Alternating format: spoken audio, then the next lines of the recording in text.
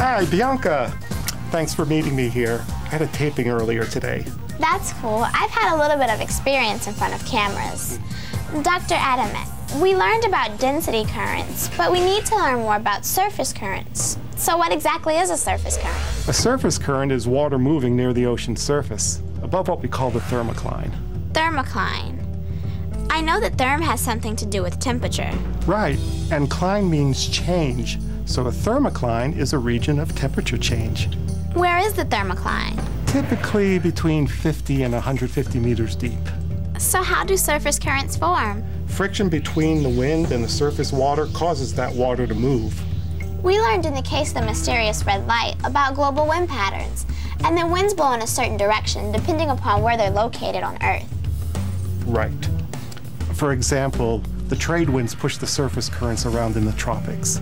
But are there other factors? Oh, sure. Because the Earth rotates, there's turning due to the Coriolis effect.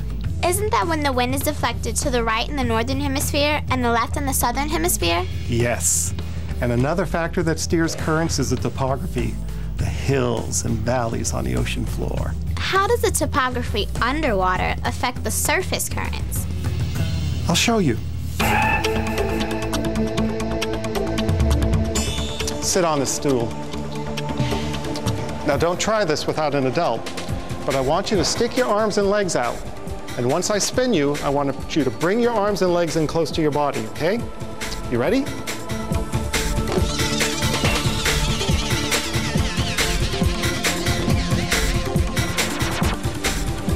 What happened? I spun slower when my arms and legs were out and faster when they were in. Topography does the same thing to currents. If a current flows over an underwater mountain, the water column gets flattened and compresses. That's you with your legs out.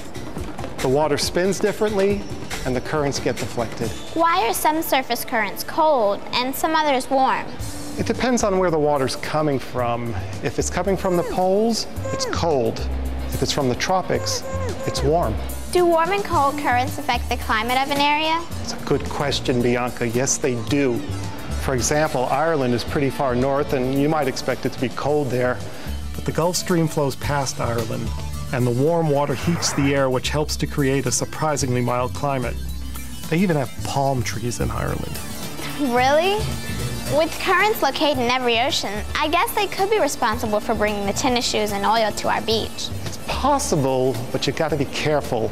The same current can transport things to different places. How does that happen?